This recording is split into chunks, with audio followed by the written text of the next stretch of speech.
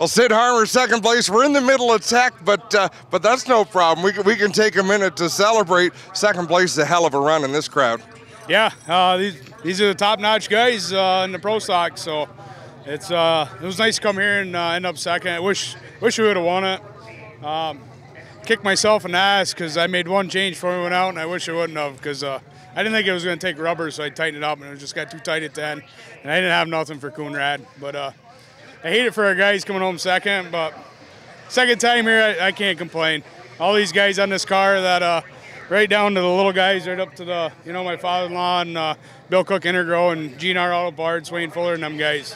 It's all, all of it's appreciated. That's what gets us here. Talk about the pro stocks and DIRTcar. It seems they made you guys a bigger part of the program this year, having qualifiers on Friday night with the rest of the divisions. A little bit more track time uh, along with the, the, the other series. That's different than Super Dirt Weeks in years past. Does it feel good to be a bigger part of the show?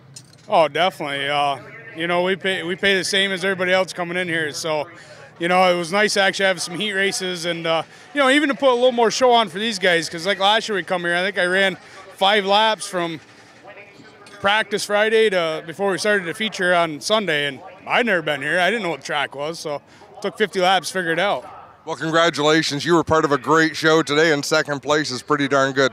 Yeah, thank you. Sid Harmer, second place in the Pro Stock division.